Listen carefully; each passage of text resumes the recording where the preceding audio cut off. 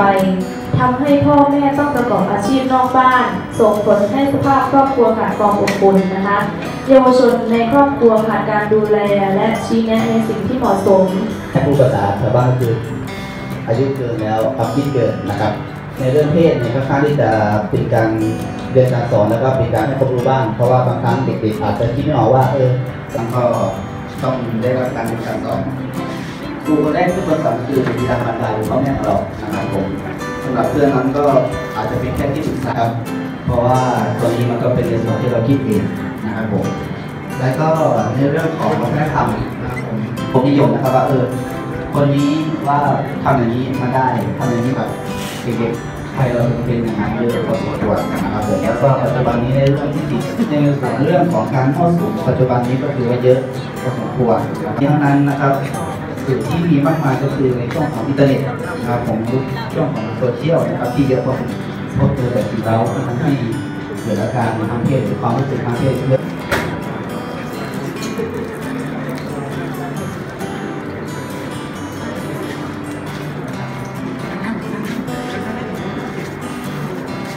ยอดระดับการศึกษา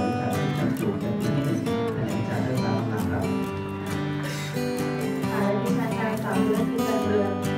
ระดับประการปฏิบัติวิชาชีพในปีที่สองแผนกวิชาคอมพิวเตอร์ธุรกิจวิทยาลัยการอาชีพเริงนกทา วันนี้เราสองคนรับหน้าที่เป็นพิธีกรในวันนี้ค่ะ ครับผมลำดับต่อไปนะครับผมขอแนะนำวิทยากรที่มาให้ข้อมูลในวันนี้นะครับนางสาวนางประภาวีเดนาโบพยาบาลวิชาชีพชำนาญการงานควบคุมโรคติดต่อโรงพยาบาลสมเด็จพระยุพราชเป็นประธาน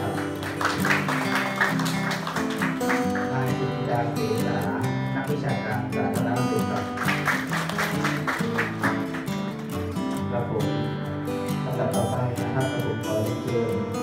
ท่านรองออยอินทรรองผู้อำนวยการสายวิชาการไปจัดแนะนที่เพื่อมาประกาศรายงานครับอันวันต่อไปดิฉันขอเรียนเชิญนายเดชโชพลศรีวัฒนตักนายกองค์การนักวิชาชีพในอนาคตแห่งประเทศไทยได้กล่าวรายงาน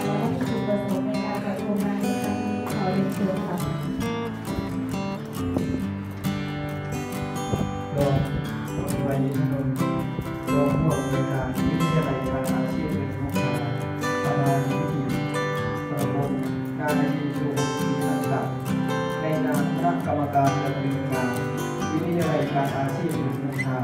รู้สึกยินดีและเป็นเกียรติอย่างยิ่ง ที่ท่านได้มาเป็นประธานพิธีเปิดโครงการคุณแม่ไว้ใจประจำปีพุทธศักราช2561ซึ่งมีนักเรียนนักศึกษาเข้าร่วมอบรมจำนวน80คน โดยมีวัตถุประสงค์ดังต่อไปนี้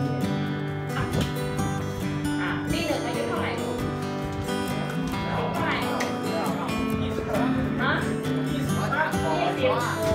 เขาไม่นอกบ้านนี่เดี๋ยวที่ได้ลูกเขาแทนอ่าเนาะอ่าในจีนนะคะ แต่ว่าอ่านข้างหลังมีด้วยเหรอฮะอ่านไม่นานอ่าแล้วก็มาอีกคนนะคะที่ที่มามาด้วยเป็นนักวิชาการนะคะ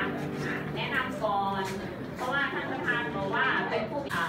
ว่าหนึ่งลูกสอง